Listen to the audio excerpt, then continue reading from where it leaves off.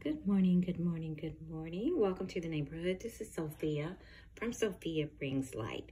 As again, we go through our journey through the tarot, which I kind of will go through um, probably over the next couple of weeks, just to, um, you know, it's my personal journey studying some of the major arcana cards, and eventually I'll talk about some other cards, but I'm going to intersperse that with other things. But anyway, let's go back to our journey through the tarot, and our journey through the tarot takes us to the Queen of Cups.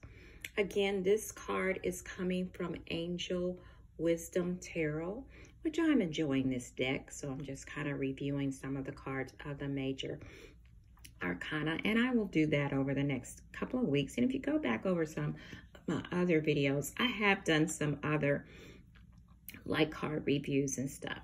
But the Queen of Cups, let's talk about her. And this card is pretty, the, and I can see that in the beauty of this card. The Queen of Cups represents a person filled with love, and she embodies all and encompassing, never wavering compassion. She also represents not only a person, but um, an, an environment of never ending love. So it also suggests a lovely atmosphere. Essentially, this card reminds us that this nurturing backdrop to life is one we should all try to attain in order to live in a mutual respect and harmony with each other. So that's also good and something that we need in this day and time. It also suggests that this love that we need this compassionate, loving, giving, mutual respect of others is not something we can demand from some other people, but love that we must find within ourselves.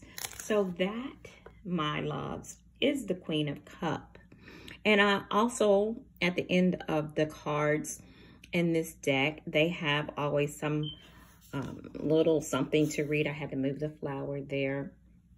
But it says this card, uh, for this card, it says loving, compassionate, psychic, self-sacrificing, deep psychic insights, caring for others, but forgetting to take care of yourself. Trust your intuition. A deep love of family and friends. Follow your heart. And then this card, to me, she's carrying the, or she's holding the cup, sitting in her regal chair and being her regal self as she looks out over into the ocean. Um, I see in this card, you know, I'm just doing my intuitive reading. So I give you the traditional reading of what it means and then intuitively what I get from it is that um, we do carry within us the loving compassion and intuition that we need. We just sometimes have to take the time to reflect and tap into that intuitive, loving, compassionate person that we are. And in this day and time, to have that mutual respect for others, to be compassionate to other people, to be reflectful and insightful.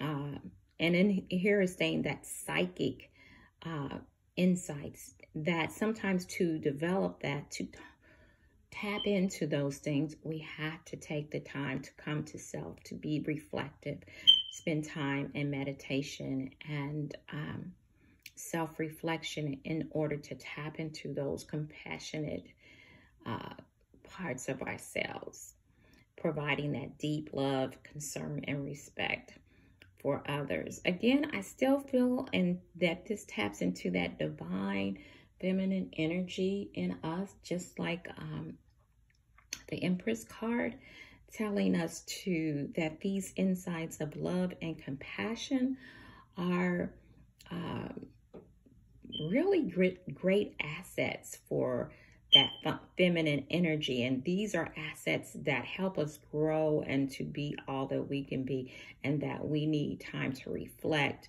time to tap into those insights. So that's pretty much that.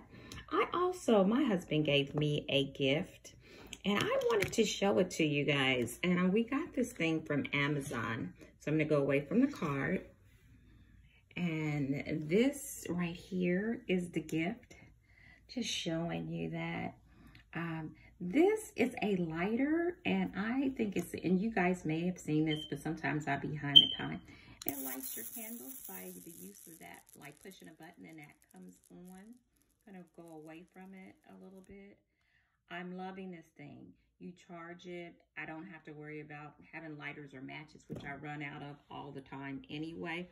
So it just is really nice. Again, we got this off of Amazon. And I'm going to show it to you again. And it is from Tamalo. Trying to see the name if you can see that. Yeah, Tamalo. Um, again, I got that off of Amazon and I thought I'd show that because maybe for somebody, might be a great thing. Um, again, this is not, I'm too small a channel, but when I find useful items and useful things, I'm going to pass that on to you. Um, again, we talked about the Queen of Cups. So you guys have a blessed, compassionate, loving week, just like the Queen of Cups, and be blessed. I'll talk to you soon. Bye-bye.